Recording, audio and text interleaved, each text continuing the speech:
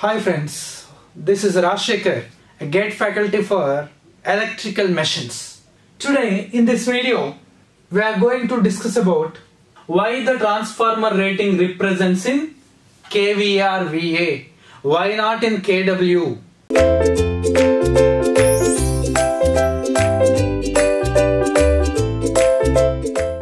Generally, the transformer operation mainly depends on temperature. The transformer operation mainly depends on temperature. The temperature mainly depends on losses. The temperature mainly depends on losses. In our transformer, we have a two types of losses. One is the constant losses and other one is the variable losses. Nothing but core losses and copper losses.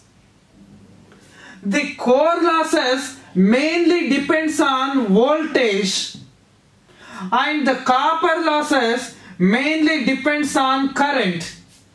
Copper losses depends on current and core losses depends on voltage. Nothing but the losses depends on volt amperes. The losses depends on volt amperes and the transformer operation also only depends on temperature which is depends on volt amperes. That's why for easy analysis the transformer rating also represents in volt amperes or kilovolt amperes.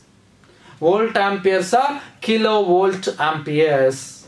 Okay, so generally the transformer operation depends on temperature and temperature depends on losses and losses depends on volt amperes that's why the transformer rating also represents in volt amperes and you have to remember transformer rating as well as alternator.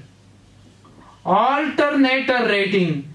These two ratings represents in kVA or VA kVA or VA other than this DC machines and synchronous motor. DC machines and synchronous motor induction motor or induction machines. Induction machines. Its rating represents in kilowatts or watts DC machines induction machines and synchronous motor rating represents in kilowatts or watts transformer and alternator. Alternator nothing but synchronous generator. Represents in kVA or VA remember this right? If DC supply given to a transformer then what happens? For example if a AC supply given to a transformer if AC supply given to a transformer then what happens sir? Some EMF will induces in this uh, winding. And due to mutual induction another EMF induces in this winding. Yes or no. For example here 200 volts is given. For example my winding having 10 ohms of impedance. 10 ohms of impedance okay. For example here some current flowing and here some EMF induces here. For example 150 volts induces here. What is the what is the loop equation? 200 volts is equals to 10 into I plus 150 here impedance and some current. So what is 10 into I is equals to 50 and I is equals to 5 amperes for example 5 amperes is rating of my winding. Rating of my winding is 5 amperes. Now I am giving same 200 volts DC supply. I am giving same 200 volts DC supply. When DC supply given to a transformer here conductors are stationary. Conductors are stationary and magnetic flux also stationary. Constant magnetic flux we are giving not AC this is DC is there any relative motion between them there is no relative motion between them. If there is no relative motion, what is the EMF induced here? If there is no relative motion, there is no EMF induced here. Then tell me what is the loop equation? 200 volts is equals to 10 into I plus 0. Then what is I? I is equals to 20 amperes. I is equals to 20 amperes. What is my rating? Actually 5 amperes. How much current flowing through the winding? 20 amperes of current flowing through the winding. Then what winding says? Winding says I am sorry. Are you okay? If 20 amperes flows through the winding, this primary winding gets burns out. This primary winding gets burns out. Then there is no operation and there is no any problem for the secondary winding. Here, when DC supply given to the transformer, the problem is only for primary winding. There is no problem for secondary winding. No problem for secondary winding.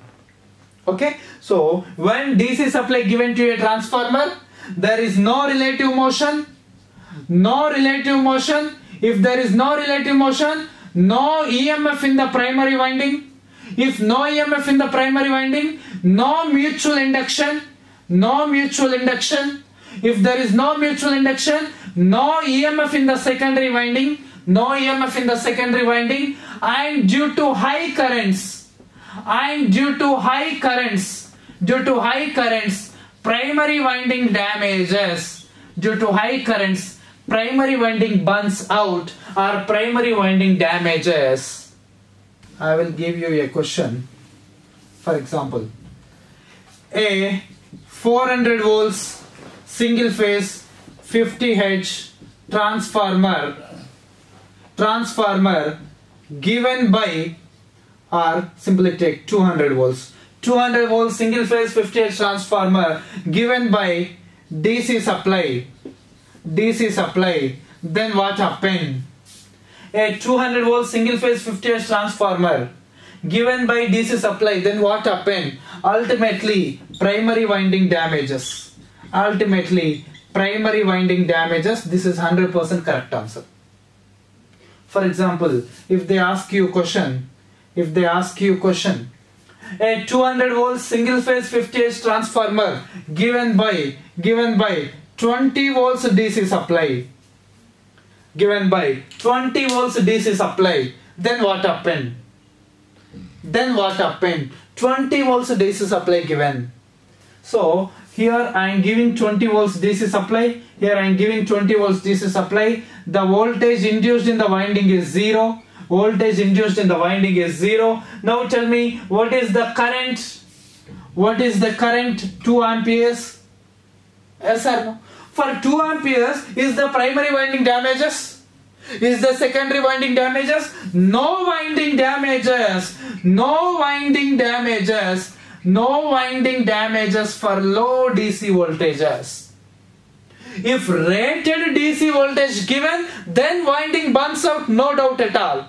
But if no winding damages when small DC voltage is given to a transformer, but here the thing is that there is no voltage induced in the primary, no voltage induced in the secondary, no relative motion, no EMF, no mutual induction, no EMF. But if the voltage is less, there is no damages. If the voltage is equals to rated voltage then only the primary winding damages. Are you okay if DC supply given to a transformer what happens? Alright thank you sir